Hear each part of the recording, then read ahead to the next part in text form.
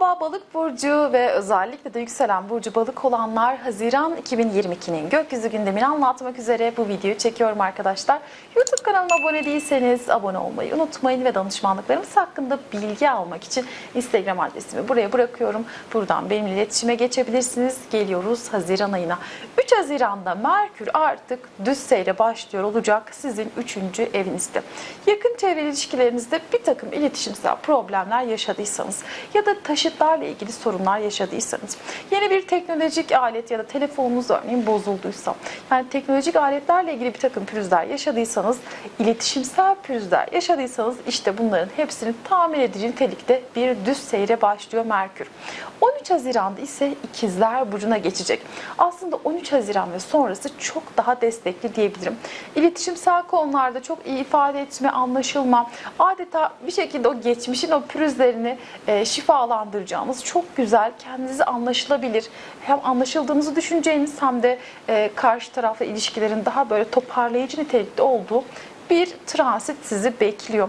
Burası e, aynı zamanda Merkür çok sık seyahat de verecektir size. Sürekli hareket halinde olmak adına özellikle 13 Haziran ve sonrasında e, eviniz, yuvanızla ilgili e, bir takım böyle sık hareket halinde olma etkisinin de yoğun olduğu bir transit. 5 Haziran'a geldiğimde Satürn geri harekete başlayacak. Satürn sizin 12. evinizde. Yani çok kapalı bir yerde gizli düşmanlarınız çok fazlaca olabilir bu döngüde. Yani hayatınızın daha öncesinde görmediğiniz kadar sürekli arkanızdan perde arkası olaylar, gündemler ya da iletişimsel bir takım hani dedikodu vesaire gibi durumlar olabilir. Burası Satürn işte geri hareketiyle aslında bu konuları tekrardan önünüze seçenek olarak dahil edecek. Kim arkanızdan ne konuştu, kim perde arkası olayların asıl mimarı kim? Bunları e, gözlemlemek adına bir etki sunuyor. Satürn burada e, geçmişe şöyle bir sizi adeta götürecektir. Geçmişte bir takım işle ilgili pürüzler mi yaşadınız? Kim hani bunun engeli nedeni neydi? Bunu gözlemleyeceksiniz. Ya da ilişkilerdeki bir takım pürüzlerin asıl e, etkeni ne, ne değil? Bunu gözlemleyeceksiniz. Kısacası biraz böyle gizli düşmanlar, perde arkası olaylar ve bu tip konulardan haberdar olacağınız, bu tip konularla ilgili gündemlerden kaynaklı biraz böyle ruhsal dünyanız, biraz depresyon, e, hayal kırıklığı gibi duygu seline de sizi sürükleyebilir. Burası çok kapalı bir ev olduğu için kişinin kendi içsel dünyasında bir zorluğu da gösteriyor. Depresyona bir eğilimde yine verebilir bu transit. Çünkü kendi içsel huzurunuzu sağlamakta biraz zorlanacağınız aslında etkiler barındırıyor. Biz burada e, özellikle kişi hani bu zorlu döngüyü nasıl hafifletecek diye baktığımızda karşı ev odaklanması gerektiğini söyleriz. Yani işle ilgili sorumluluklarınız, günlük rutinleriniz, insanlarla sürekli hareket halinde, hani iş e, iletişim halinde olmak, sürekli bir e, mücadele, sürekli bir hayatla ilgili hani e, günlük işlerinizde daha hareketli olmak size avantaj sağlayacaktır. Kendi ruhsal dünyanızla çok baş başa kalmamanızı öneririm. Çünkü psikolojik konular biraz daha hassas olabilir bu döngüde. Bir diğer konuda evli bireyler için eşinizin iş hayatı ilgili sorunlar tekrardan gün yüzüne çıkıyor olabilir. Geçmişte bir takım hani pürüzler oldu. Tam halledilemediyse bu sağlığı için de geçerli eşinizin e, sağlığı ilgili konularında pürüzler oldu tam halledilemediyse bunlardan e, bunları tekrardan gün yüzüne çıkacağı bir etki. Satürn buradaki geri hareketi kişinin e, aslında ruhsal dünyasındaki kaotikliği biraz daha böyle somut e, uğraşlarla bir şekilde ikincil bir plana atması gerektiğini de söylüyor. 12 Haziran'a geldiğimde Venüs ve Uranüs'ün bir kavuşumu gerçekleşecek. İşte bu kavuşum sizin yakın çevre ilişkilerinizle ilgili ani bir takım durumları gösteriyor. Ani gelişen, yönetilmesi gereken, biraz işin içerisinde krizin de olduğu ve bu krizle bir şekilde iletişime dökülerek çözülmesi gereken konular. Hazır böyle Merkür de zaten ikizlere geçecek 13 Haziran'da o yüzden var ise böyle krizli durumlar vesaire bunların tamamını adeta bir e, ışık tutacak. Siz de değerlendirmenizi öneririm. Taşıtlarla ilgili yine ani gelişen bir takım finansal çıkışları da gösterir bu. Yani taşıt hani bir şey almışsınızdır evet e, güzel çok beğendiniz vesaire böyle küçük e, olaylardan kaynaklı, küçük pürüzlerden kaynaklı ani bir takım finansal çıkışlar, işte bir yerlerin tamir edilmesi gerekiyor vesaire gibi durumlarda olabilir. 14 Haziran'a geldiğimde Yay burcunun 23 derecesinde bir dolunay gerçekleşecek. Bu dolunay sizin kariyerle ilgili, iş hayatıyla ilgili bir sona gelişi gösteriyor. Yani kariyerle ilgili bir mücadeleniz, iş hayatıyla ilgili bir mücadeleniz, toplumun görebildiği formdaki bir mücadeleniz artık neticeleniyor. Burası e, bir sona geliş, rafa kaldırılış, gündemden düşen bir konuyu gösteriyor. Ve e, kariyerle ilgili bir mücadeleniz var ise artık o neticelenecek diyebilirim. Medeni durum değişikliğini de gösteriyor. Yani evlenmek ya da boşanmak. Yani böyle bir etki de olabilir bu döngüde hangi e, durumda iseniz. Medeni durum değişikliği ilgili bir dolunay, bir neticelenme olması da muhtemel. Annenizin hayatı e, ve annenin hayatı ile ilgili bir meşguliyet varsa, sağlığı ile ilgili hani ilgileniyorsanız ya da işiyle ilgili ya da hayatı ile ilgili hani hangi konuyla meşguliyetiniz varsa bu da artık neticelenecektir. E, gündemi müdahale, cerrahi müdahale döngüsüne girdi, bitti ve her şey neticelendi.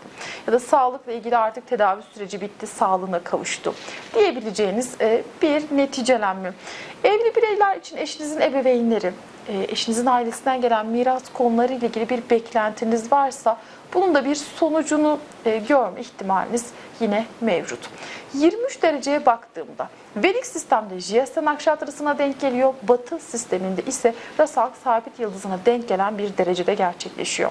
Bizim e, bu dolunayı yaparken e, enerjilerin daha fazla kişinin kendi benliğini fazlaca düşünme, kendini koruma hissiyle yapacağı bir e, dolunay etkisi. Kişi burada fazla kendi menfaatini e, ön planda tutuyor olabilir. İşle ilgili, kariyerle ilgili.